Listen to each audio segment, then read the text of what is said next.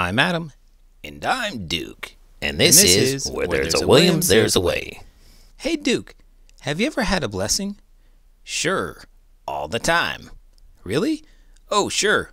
Almost every time that I sneeze. You know, blessings are one of those things that people say but don't really think too much about what it means. It's saying grace before a meal or asking for God's protection or favor. Yes, but then they're also a beneficial thing for which one is grateful, something that brings well being. You sound like a dictionary. Probably because I just read one. In today's book, Oskar is a book that has come to America to escape Nazi Germany. Upon his arrival, it is both Christmas Eve and the seventh day of Hanukkah. During his long walk to meet his aunt, Oskar encounters eight blessings of the last kind we talked about. I'm grateful that I didn't have to walk across New York City on a cold winter day. I doubt that's one of them. Let's get started.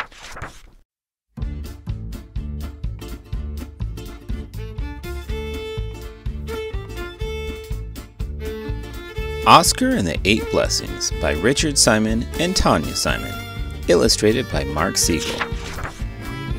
Oskar's mother and father believed in the power of blessings.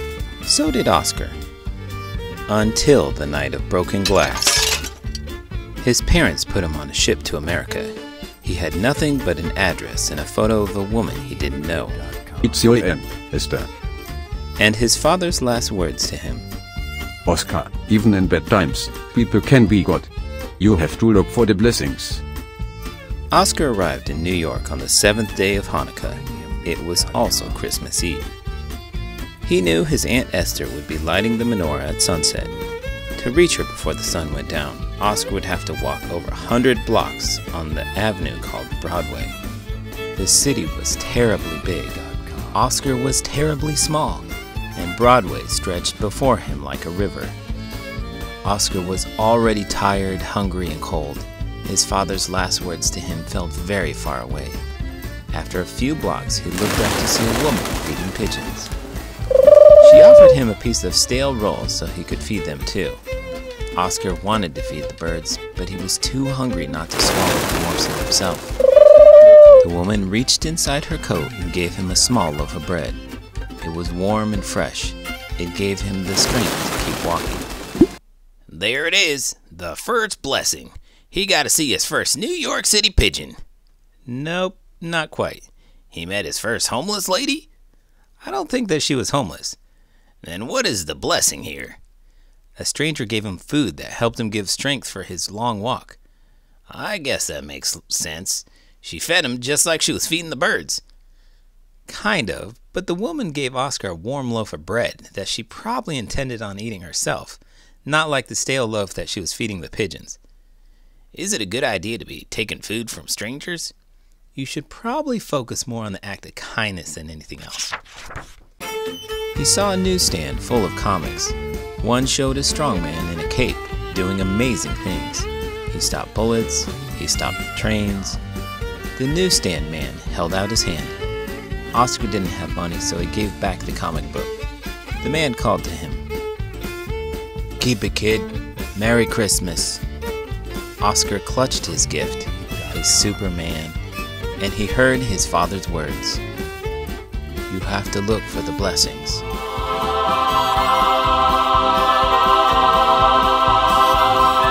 Kept walking. He stopped when he heard music coming from a little alley where a big man was humming a jazzy tune.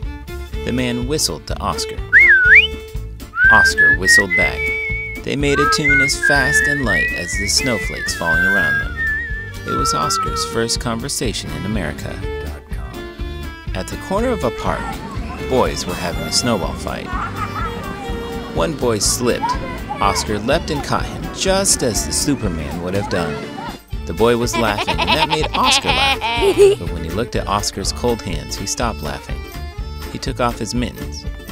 Oskar put them on and felt the boy's warmth. He had something to give the boy, too. Boy, oh boy, that one's a doozy. Getting a pair of warm gloves? I agree. When your hands are freezing, it is amazing. Like putting on a pair of socks that just come out of a dryer. No, not Oskar. The other boy. He got himself quite a blessing with that comic book. I grew up reading comic books, but I don't know if that was a fair trade. Heck no, it wasn't. If that kid still has his comic book in mint condition today, that thing would be worth $8 million. That's a lot. Yeah, it is. There's your eight blessings right there. Imagine what you could buy with all that money. A new house for the rest of your family to come to America and live in. And all the hats that you could ever imagine. Oh, you and your hats. A few blocks later, a tall lady in a big coat walked out of a building. A policeman shouted, Stand aside! Oskar stopped short. Oh, Thomas, he's just a child. The lady said to the policeman. Let him pass. She winked at Oskar. The policeman moved out of Oskar's path. Yes, Mrs. Roosevelt. Mrs. Roosevelt? The sun was setting and Oskar began to run. He had to get to Aunt Esther's before she lit the shamash. Running, he stumbled and fell. A hand reached down and pulled him up. Back on your feet, son. His father was right. People can be good. He turned the corner and ran down the street looking for her house. He ran past a woman humming a nagundal. Suddenly he heard a name. Benjamin? It wasn't his name. It was his father's and it washed over him. She had a dimpled smile just like his. That's Papa, he said. I'm. Oskar. whispered Aunt Esther. Did Oskar's aunt even know that he was coming? Probably. Then why didn't she pick him up? Sure doesn't strike you as a little weird that a kid gets sent across the world and has to walk through the largest city in the world at the time? It is certainly different than how things would be done today, but you have to keep in mind that this wasn't during a time when you got on an airplane that had a specific time scheduled to land. Sure, he was on a ship, but you'd think that there'd be a general idea for when he arrived. It took a ship around 40 to 90 days to come from Germany to Ellis Island. That's quite a range. Maybe his first blessing was arriving in the first place. You could be right there. I don't know if I'd like being on a ship for that long. Not unless it's a cruise ship. But speaking of liking things, if you like this video, please give it a thumbs up and don't forget to subscribe to the channel. I'm Adam. And I'm Duke. And this is Where There's a Williams, There's a Way. Author's Note When I was 10, my grandfather told me the story of the three rabbis who traveled from our family's village in Lithuania to New York in 1938 to ask him, the eldest son of the eldest son of their Rebbe, to return with them and take his rightful place as the new Rebbe. He politely declined. He stayed in Brooklyn and drove a New York City bus the rest of his working life. The rabbis returned home and perished in the Holocaust. I wondered about the three rabbis. What if they had stayed in New York? Why didn't they stay? Didn't they know what would happen? Did they know and go back anyway? I wondered about all the people whose lives were extinguished by the Holocaust. As a Jewish boy who had survived it by managing to be born half a generation after it, I imagined all the daring and sly ways I would have escaped the Nazis, and how I would have outwitted them all, especially Hitler, who always played the role of the devil in, in my imagination. Those fantasies were my consolation in the face of a horror I couldn't comprehend, even as I couldn't stop thinking about it. Oskar is the fruit of those fantasies. The idea that what needed to be saved was not just lives, but hope. I grew up on Long Island, close enough to Manhattan to visit, and just far enough for each visit to be special a trip to a land where wonder meets history. New York City, for me, has always been history itself, a place where you can feel yourself in history just by walking down the street. That's why Oskar escapes the nightmare of Nazi Germany and finds himself a part of history, not just because of what he lived through, but also because of what he can now hope to become. In 1938, the year the rabbis came to find my grandfather, the year of Kristallnacht, the year where this story is set, the last night of Hanukkah was also Christmas Eve. That morning, First Lady Eleanor Roosevelt, a fixture of humanist intent in a world seemingly gone mad, left New York City to fly back to Washington, D.C. The night before, Count Basie and a host of other legends performed at Carnegie Hall in the groundbreaking From Spirituals to Swing concert. Was also the year Superman was born. Oskar's particular blessings are blessings that only a major cosmopolitan city can bestow on a refugee. They represent all our potential to survive and even thrive in the face of a great loss.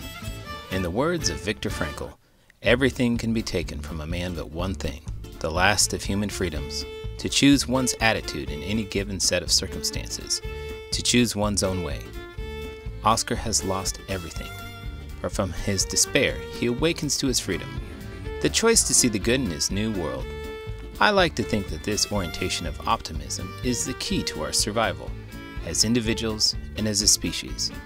It is how we, as American Jews, have made a place for ourselves beyond the shadow of darkness that tried to destroy us. Richard Simon, New York, 2014. Shamash, the ninth candle in the Hanukkah's menorah, usually standing above or below the other eight. It is the servant or helper candle because it is lit first and then used to light all the others. Nagundal. A nagun is a kind of Jewish religious music a wordless melody, usually sung with nonsense syllables. Nagundal is an affectionate way of saying it. A little nagun. Kristallnacht. On November 9, 1938, the Nazi governments of Germany and Austria authorized a pogrom, a violent mob attack on people from a particular ethnic group against all Jews, all synagogues, and all businesses owned by Jewish people in both countries. In two days, over a thousand synagogues were burned down, thousands of Jewish owned businesses destroyed, and more than 30,000 Jews were thrown into concentration camps.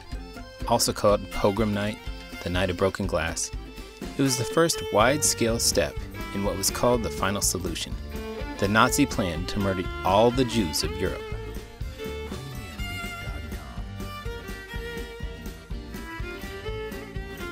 Did you know the three major branches of Judaism Orthodox, Conservative, and Reform all have large theological seminaries in New York City. Not only are there more Orthodox rabbis in New York than anywhere else in the world, but New York City has the largest concentration of Jewish people in the world